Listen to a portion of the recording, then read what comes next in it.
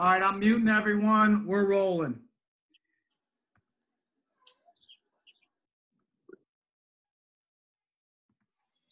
Benny, do I got you? You got me. All right, we're ready to Here. roll. So, yep, we're gonna go. Right. Um, real quick.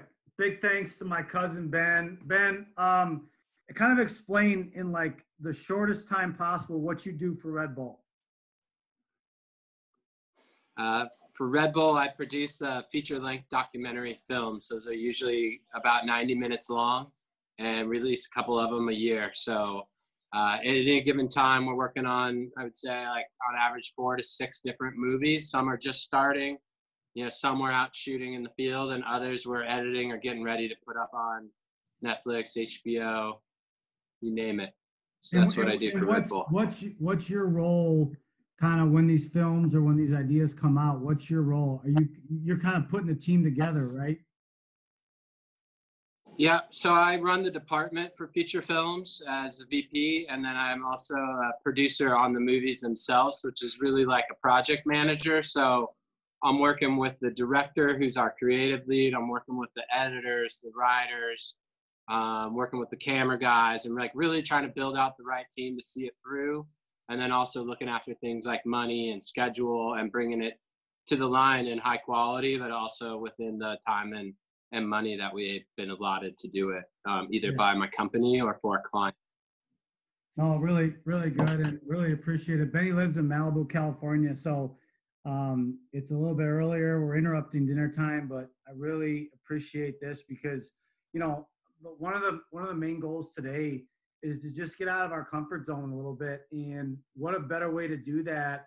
Even if you just watch the trailer, um, if you went ahead and watched the movie, that's great. But you can get the gist of it by watching the trailer of the Dawn Wall. Um, and by the way, like we didn't even have to talk about this movie with Ben on here because um, you know he he completed probably one of the most mentally grueling tasks any human can do. Um, he I don't know when it was a couple years ago. He, he completed an Ironman, and what an Ironman is, um, you swim 2.4 miles, then you bike 112, and then you run a marathon. Just a nice little finisher of a 26 mile run. Um, most of us can't even run twice or three times around the block without giving up, let alone doing all three of those things in, in pretty much a day. So, I mean, you want to talk about a background here. You have a dude that not only, you know, it works with these extreme mentally uh, fit athletes um, out of the box, not a baseball or basketball or football player, but, you know, you have a dude on here that has completed this daunting task of an Ironman that I can't even really wrap my head around. So, Benny, talk about that for a couple minutes, and then we'll get going on the Dawn Wall. Yeah, ironman was uh, more than a couple years ago. It was about a decade ago. But right, uh, my bad. I just know you did it. uh, no, I was actually just looking for a challenge, and I started with a shorter triathlon, and I didn't really know. I'd never done a marathon. I'd never done, you know, any of those kind of distances at all. So they were equally daunting to me when I first kind of even saw Ironman. I, that wasn't even in my my thought process. But I went for a shorter one, an Olympic distance one, which is still a long way. You swim about a mile, you run about six, and you bike about 25. So you know it's an effort, but putting your mind to it, most people can can figure that out and kind of gut it out. But I had a lot of fun doing it. Kept doing it. Did some longer distances over the period of a couple of years, and then I really committed myself for the period of a year to just you know, I wasn't going out partying. I wasn't staying out late. I put everything in towards this because you have to do a lot of training. You have to really eat a certain way, and you have to get your your mind and your body ready to handle those distances. It's not something you can just show up and like gut out with sheer willpower. You really have to have, you know, both the mental mental ability to do it, but also just like get your body ready for it so you don't melt down during the race. You see a lot of people fall apart out there. So uh, it was a long day, um, but it was really like the effort of training for a year. And every day you just go a little bit further, you do a little bit more. And pretty, you know, what was pretty hard at the beginning of the training, running whatever five miles or seven miles, all of a sudden that's kind of your warm up, and then you kick into another gear. And when you hit that level, it's just sort of happens over a long period of time. You got to have a long term outlook to to take something like that on, and I think that's pretty applicable to what you see in the Dawn Wall, or even the level of sports that you guys are playing at, where you're going in day in and day out, putting in the work. Some days, 100% firing all cylinders. Other days, it's hard to get out of bed, but you you you do it, you commit to it, and and the results come. Yeah, no doubt. And uh, you know, it, again, kind of kind of moving forward and and taking us out of our comfort zone and talking to Benny today about the Dawn Wall, the movie that obviously he oversaw. Um, and and real quick, you have you have this Tommy Caldwell as the main character in the movie. You know, you want to put him on a on a pedestal. You you know, he's a he's a Mike Trout, he's a LeBron James, he's a Michael Jordan, he's a generational type of climber, and that that's kind of the pedestal that you know this guy is is on from an equation to you know a, a sport type of out, outlook or as an athlete, and then you take the mountain this uh, El Capitan where you know it kind of goes into bullet point number one where impossible is a mindset. Well, basically what what was what was talked about um, is that this particular point in the wall and I'll let Benny explain this a little bit more, but it could never be it could never be climbed. It couldn't be done. It's it, it was an impossible feat. You had all these master, you know, you had all these elite climbers saying, you know, you're even silly to try it, and it just seemed like from this guy's upbringing, um, we'll talk about his obstacles that he went through, um, but it just seemed like that never was in his mindset. That when you say the word impossible, he saw that as a challenge, and and that's got to be where our heads at when when you don't think you can do something you got to meet that task and you got to meet that challenge head on um, ben you could elaborate that on a little bit more because i know you've worked with them and personally and just just talk about that little um, impossible as a mindset kind of bullet point and what you've taken away from working through this film and other films before that. Yeah i mean obviously tommy has a lot of uh, skill and talent and he had you know he had a knack for it when he was young. His father saw it and really kind of fostered that in him but it wasn't that he was head and shoulders above everybody else you know at a young age it's just he really had a passion for it and stuck with it this particular climb though it was sort of a coveted part of the wall on El Capitan, which is the hardest climb in Yosemite. And for generations, you know, the best rock climbers in the world go there, live there, train there, and climb. And you know, before that, Tommy had put up more new routes on El Capitan that had never been done than anyone else. But they were all sort of in between the existing areas that people were climbing. There's a whole other side of the wall that everybody said was too steep, it was too sheer, the holds were too small. I mean, there's places where you can just barely hold on by the tips of your fingers. And this isn't for 50 feet, this is for hundreds of feet.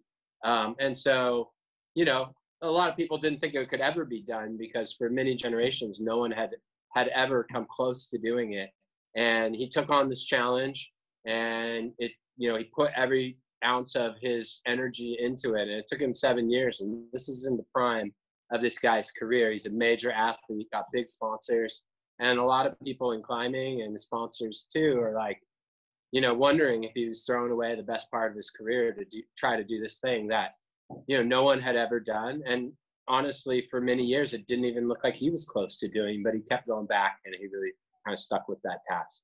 Yeah and and i really you know watching the documentary um kind of going through his upbringing and it goes right into the point number two where you know obstacles are only illusions and you know a lot of us see these road bumps that we hit on a daily basis.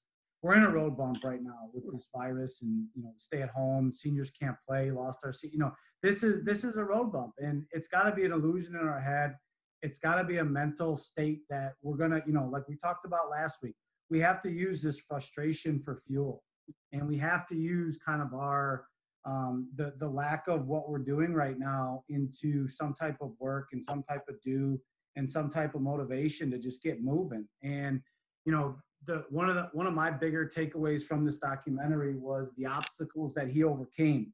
Um, he was invited when he was 18 years old, which some of you on this call are 18 years old, to this big climb in Kyrgyzstan. And um, what happened is he was with a group of really, really elite climbers. Um, and he was held hostage. Some terrorists held him hostage.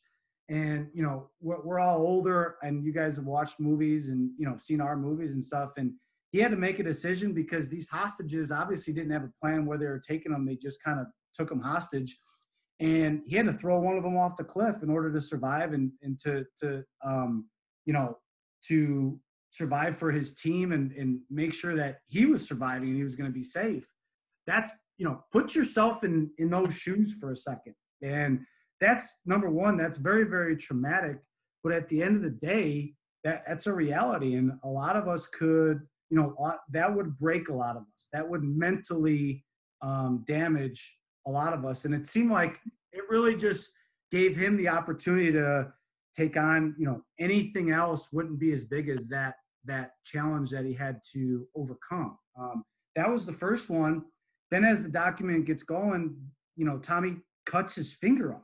And whatever accident he was doing i don't know if he was cooking or he was doing something he ended up um, he ended up amputating his index finger and they couldn't they couldn't save it. So for a climber think about this that you know you're depending upon 10 fingers and 10 toes that's essentially your resource and your lifeline now all of a sudden he doesn't have an index finger and what you know and ben benny will elaborate this a little bit more but he almost became a better climber after he lost his index finger i don't even know how that's possible but again, try playing baseball without a hand. Try playing baseball without a foot. That's kind of where we're at right now with this with this with this athlete. Um, Benny, go ahead and talk about that in your in kind of your eyes and and how that related to to him. Yeah, well, he cut up his finger in a, a woodworking accident. He was working on a house and he cut off his finger and you know, the doctor was like, you're probably going to be hanging this up. And everybody, you know, there's just certain moves at the level that he's climbing that, you know, is critical to be able to do different holds. And, you know, within a year, he had come back and he had done a lot of strength training. He had done a lot to kind of toughen it up and um, kind of beat up the nerve endings on the end of it so he could retrain. He learned new ways to hold his fingers. And basically, within a year, he was completing climbs that even when he had all of his fingers just one year earlier, he had never been able to do. And, you know, even if he was stronger and even if he, you know, had toughened that up and found new ways to do it, it certainly wasn't easier. So, I mean, that's clearly a mental breakthrough where he's just put it started to find new problems, find new ways to move his body and, and to kind of work around that to a level where he was actually came back stronger, which is really hard to wrap your mind around. Yeah, and like that was just a huge takeaway for me because it's just you know if we get injured, um, you know, pitchers Tommy John surgery or rotator cuff or whatever the whatever the roadblock is, the obstacle is, it just seems like that you, there's always some doubt in the back of your mind. There's always some, you know, well, will I ever be as good as I was? And it, it just proven that, like when you set your mind to it, and you just have this elite um, framework for your mind to work, it's it's you know, there's really no there's really no limits to to where where we're going, and he's just living proof of of that, which I thought was really you know really really valuable. Um, the, the the point number three, my my my my last huge takeaway from this documentary was so to paint a picture, Tommy um, gets to this pitch. I believe it's pitch 15. I don't know if it was the hardest pitch, but it was it was like really really hard and took him a long while to complete the pitch. Well, he's climbing with a partner, and this this uh, Kevin guy, and he had Benny. Real quick, talk about the difference between the two climbers and how they kind of paired up to to be a team. Yeah, well, Tommy Tommy was the one who really decided to take this on, and he was really sort of the most accomplished climber ever on El Capitan in Yosemite, this style of climbing. I mean, he was at the top of the grade already, and he put his mind to do it for those reasons and others that you'll see if you if you checked it out or if you do check it out. But he t- he took on this task, and you know he's alone. Different climbers were coming in and out. Alex Honnold went there and climbed with him for a season. His dad was going up there. You know, a bunch of the top guys were going there to visit him to help him kind of work it out. But he didn't really have a partner at the time, and he really needed one. And uh, there was another climber who was from a whole different discipline didn't know Tommy, but was really inspired by what he was doing. And he was living in California. He did a whole different style of climbing, which is largely done in gyms or really low rock features. It's called bouldering. And while you do it much closer to the ground, where Tommy's climbing two, 3,000 feet up sheer cliffs, living on the side of the wall, he kind of had that pedigree.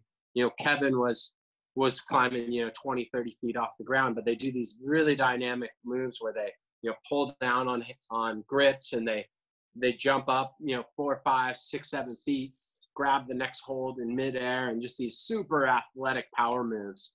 And um, you know, it was sort of the combination of the two of these guys coming from different backgrounds that made them a really dynamic team because Tommy had to show Kevin everything about how to survive and climb in this big mountain environment.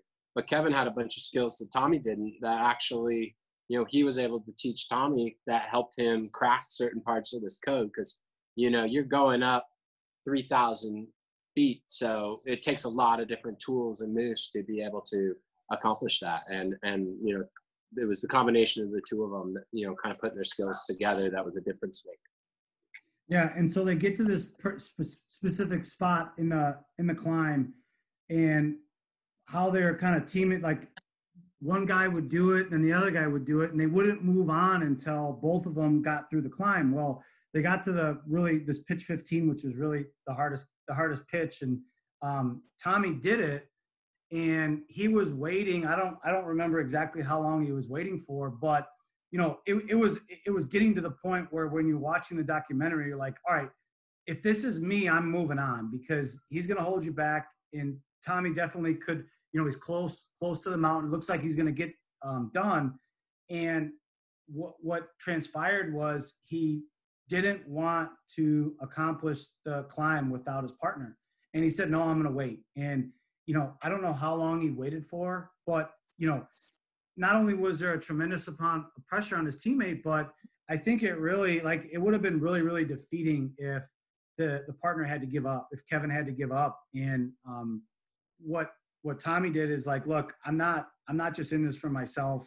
We're doing this together, and we're either gonna we're either gonna be on top of the mountain together, or we're you know, or we're not gonna accomplish this. And like just true selflessness um, you know, not everyone has that inaptability to be a great teammate and to, you know, really take themselves away from the limelight because he could have been on top of that mountain way before his partner. And that was a choice he made because he wanted to do it together and, and he wanted to push his teammate and he wanted and he did. And then, you know, Kevin actually made the pitch and, you know, it was just really moving because the way the documentary was going in my mind, it was like, well, this guy's done. Tommy's going to get to the top of the mountain and that's it. And it was the complete opposite. So, I mean, Benny, you want to talk about that a little bit because I think that really hits home with with our guys and um, you know just just being just wanting you know the guy next to you just to do as good as as you and it kind of you know it frees you up a little bit.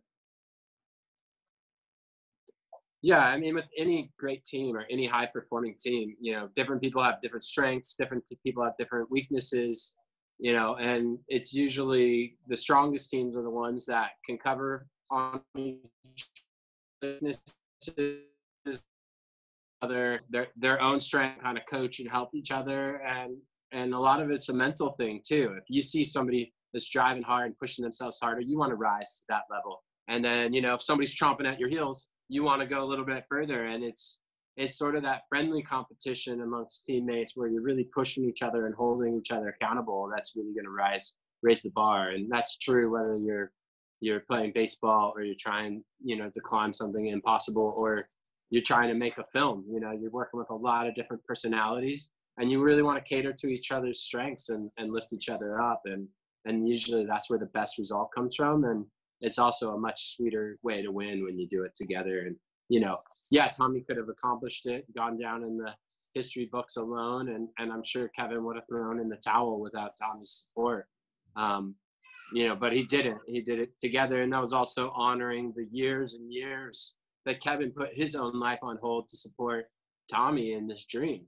I mean, he had invested years of time. So yeah, Tommy could have left him behind, but you know, he wanted to also honor him because if Kevin hadn't kept showing up year after year, who knows if Tommy would have stuck with it because you know he needed that camaraderie. Yeah, it's just I mean, there's just really good value there. There's really good lessons there, and that's that's what we got to strive to be. That's as a teammate and as you know a person, you got to want to make that guy next to you better, and you got to you got to want to show up every day and understand that you know I'm going to war, you're going to war, we're going to war together, and we're we're winning and losing together. That that's how that's how it works. That's how this thing works. Um, my last point on my big board, and uh, I want you guys to think of some questions. How we're gonna do it too. If you want to ask a question, just go to the Zoom group chat um, and throw throw a question in there. If you got a question for Benny, um, I'll kind of like ask it and then he'll answer it. So if you guys got a question, just start throwing them in there. Um, I got like one more point that we're gonna hit on, and then you know if you guys want to ask anything, go ahead. If not, we'll just we'll just get out. But um, just if you guys got anything, just throw it in that Zoom group chat, and, and we'll hit it. We'll hit it in about five minutes. But the last thing I want to talk about is just something that you know after watching the documentary, obviously talking to Ben a bunch. Um, I came up with this extreme measures require extreme mindset. And you know, when when we're out of the box, not baseball oriented, but you're you're watching documentaries like this, and Benny, you're going to elaborate this on a lot more because you've worked with these extreme athletes with crazy, crazy mindsets. With that, there's no limits to what they can accomplish on a much, much higher level than you know, let's say baseball, basketball, or football. Um, you know, you're almost you're almost incorporating life and death in these situations. Um, and just talk about like where these athletes' minds minds are in the the lessons that maybe you've learned from them. Anything that you can give to these high school kids as they you know finish up high school, get on to college. Some of them will have great college careers, great high school careers. Some of them might you know get an opportunity to play pro ball and you know anything that you could add just to an elite mindset standpoint would be really really valuable right now yeah absolutely i mean there's a lot of really talented people the sporters, the rock climbers, the motocross guys, or any of the you know uh, elite professional athletes in any team sport. I mean, there's a certain caliber you have to be to be professional and to be there or to be competing at that high of a level. But then within that, you know, you see a separation from from those who are really extraordinary, that are really like pushing the boundaries. A lot of it is those kind of earlier points that have already been hit in terms of, you know, setting your own boundaries for what's possible, setting your own um, kind of work ethic, overcoming those obstacles, putting in the work kind of day after day. And like you see that work ethic from any of those truly elite athletes. I was talking to Tommy about it a little bit too, even watching this Jordan doc, and you just see he's the best player on the team, but that doesn't stop him from coming in early, going late, practicing hard, going hard. Going to put in that extra effort. And th- that's a big part of it. Yeah. I mean, part of this uh, is it all you know it's it's it's overcoming those those mental barriers that we set for ourselves. It's it's having a long-term vision not looking for that quick payoff that instant gratification. So you have that vision you put in the work and you stick with it. And uh, and you know the results generally come. So that's that's what i see out of a lot of these guys. And uh, you know, we we talk about being in the zone in team sports or in sports in general. It's times in these sports they call it the flow state, but it's it's almost where you've done it so much, you turn the brain off and you just start to do, and you can hit this level. And um, you know that comes with mastery, and and that's just time and, and commitment and, and dedication to your craft, and it needs to come from a place where it's self-driven. You know, where you're getting yourself just a great coach or your parents who are who are driving that result you have to love it too. Otherwise you can't sustain that level of work if you don't truly love it. So you know you got to find that passion and combine it with your skills and and the results come yeah and like the last thing i wrote on the board is just commit to the do. Put your feet down on the ground and, and, and start working. Start you know wh- whatever the row the boat mentality the, the the commit to the do mentality the you know find the zone, get your tunnel vision. We talk about a bunch of this stuff, and um, you know, it's just really, I like I said, I wanted to get our, I wanted to get our guys out of the comfort zone a little bit and talk to you. And I think there's some, some serious, just um, good lessons to be learned outside of the box and outside of what we're doing. So, um, you know, um, we're gonna, I'm gonna, someone's gonna ask a question on here, and we're not gonna get off this thing until I got a leader on this thing that that posts a question on here. So I don't care who does it. um, somebody's gonna ask a question. So if I gotta if I gotta drag my own son out of out of the other room to ask a question, actually let's just put him on the spot right now. Christian, you're gonna start this. Uh, so um, go ahead, son. Ask a question to your cousin. What you got? um, hmm. uh, the most crazy spot you've ever been to while filming? Uh, a few years ago, got to go up to the North Pole to film mountain biking in the summer. And in the summer at the North Pole, it never gets dark.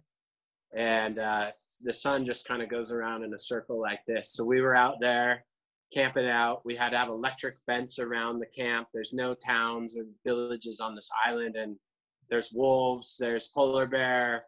Uh, so it's a pretty wild spot. It was pretty, pretty rowdy to be up there at the top of the world. And flying in these little aircrafts and landing in these you know dirt glacier fields and stuff like that. Pretty cool. Great. Yeah, that's cool. That's cool. Um, anyone else got anything? Uh, Double T, you got anything for the cause here? Let, let's get a question out of Double T here.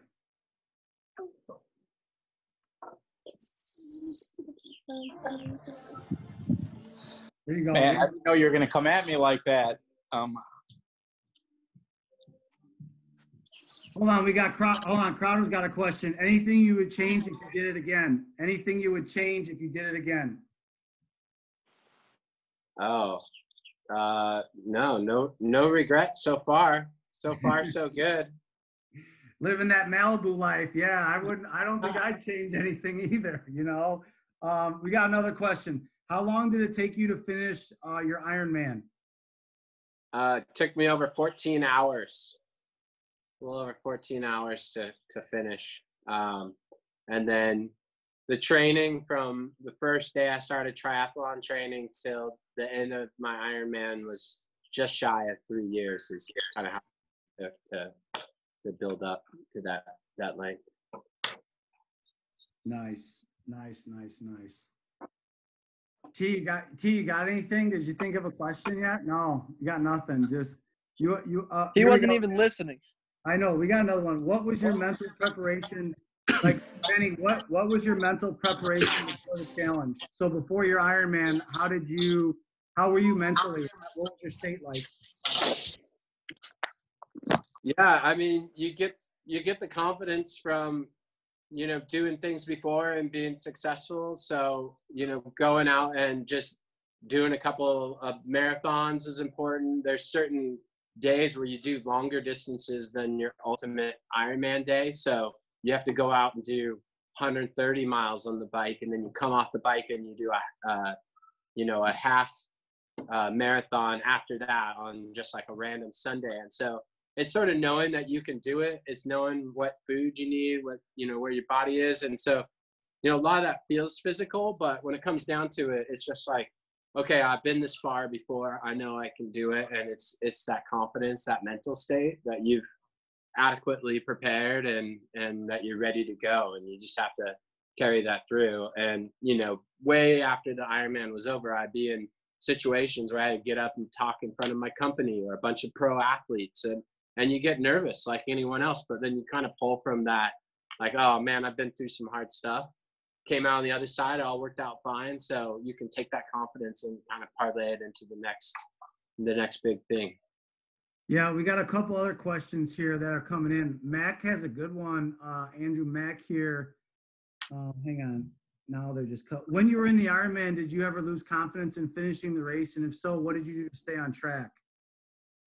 Yeah, I was actually thinking I was going to finish it under 12 hours, and I had set a time goal, which wasn't like that critical for me, but I wanted to have a goal I was targeting based on how I was practicing, what my times were. And um, a couple months before the race, I had been nursing a bit of an injury, and I came off that injury. I was feeling pretty good going into race day, and about halfway through the bike, so about 60 miles into the bike, I could feel the hamstring was pulling at me again, and it was starting to flare up. And I, I knew I had a lot of biking to do, and still had the marathon to go. So I just made the decision to pull way back on my pace, um, take it slow, let a bunch of people pass me, which never feels good, um, and save a little bit in the tank because the first priority for me that day was just finishing. And I was able to pull it out and finish because I was pulled back from that initial goal that I set, and uh, it was a good decision because it mean meant I didn't have to go back and do another one just to get a finish under my belt. Yeah, that's good. Co- uh, Jaden Comia, when's the next Red Bull movie coming out, and is there any other movies on Netflix? Yeah, the next uh, Red Bull movie coming out will be this fall. I'm not exactly sure where it will be, but it might be on Netflix or HBO. Um, it's called The Alpinist, and it's a really, really amazing film. Also in the climbing world, but very different. Um, probably a little more in the vein of Free Solo, but even very different from that. So be on the lookout for that this fall. It's called The Alpinist. Um, all of the other films we've had on on uh, Netflix have have windowed out, so they license them for a period of time. They're not on Netflix. You can find a bunch of them on Red Bull TV. You can also find a film that's up for a Sports Emmy this year on HBO. It's called uh, Any One of Us. So that's a great film too for anybody who has HBO. And uh, very, very different type of champion story, but uh, again, overcoming incredible odds and like real spirit of a champion. So uh, if you're looking for something good to watch, that's a great one too. All right, we got we got two more questions. Who was the craziest athlete you've ever worked with? Ooh, craziest athlete. Um, probably it's hard because there's a lot of really wild ones. They're tough to compare. Probably Travis Rice. He's a professional snowboarder. Um, his big films are called The Art of Flight, The Fourth Phase. You can check those out too. But um, he's a guy who just has another gear. And even the best people in the world, when they go into the big mountain environment with him, they're like, you know, he is on this entire other plane. So, um, And Benny, you're pretty Benny, you're a pretty big snowboarder, so you've done the uh, helicopter drops before, right? I have, yes, yes. I've been able to get get up there into Alaska, British Columbia, Japan, a couple other places, and sometimes with these guys, and you're carrying 60 pound backpacks with tripods and cameras trying to you're not riding the exact same line as these guys dropping 100 foot cliffs but uh, it still gets pretty crazy out there for sure Yeah. so Yeah. Uh, And, yeah and- Tra- go ahead. Travis has that mindset though where he's just he sees things that people don't see and he's so incredibly strong and and and just like a beast of an athlete It's good. It is good. All right, last question. It's probably the best question. How long did it take you to grow the stash? Oh yeah, it was like work in progress since probably like mid Jan. And when the lockdown hit, I just I fully committed to it. I got rid of the beard and we've been going for it. This guy had kind of a fro and we went for the hawk the other day too. So we're just embracing it, you know? Yeah, you just gotta you just gotta ride the waves, right? You just gotta ride the waves. Side note too, uh, before we get off this, that I do have a I have a bucket list. There's there's uh, June and Beck, but so I got a bucket list item that Benny and I have talked about at some uh, family reunions where I'm gonna get in that. We're gonna get ben, one thing Benny's never done that uh, we're gonna get in the cage with some great whites. So we're gonna we're gonna jump in the cage and uh, and Benny seems to think that's a really good idea, and he's got some really good connections to get us to some really cool parts of the world that these sharks might be really big. So um, I've I've totally commit. I'm pot committed to this, and um, it's going to be way out of my comfort zone. But I, I in Ben in Ben I trust. So Yeah, every time we're talking a little trash on the text messages, it's always hashtag get in the cage.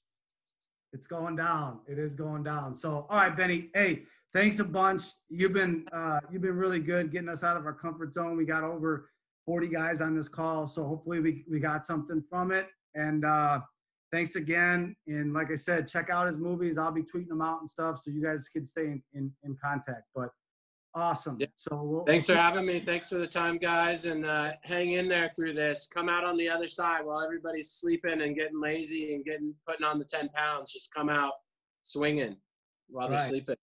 It's awesome. All right. See you guys. Thanks, Benny. You. All right. Have a good night. Yep.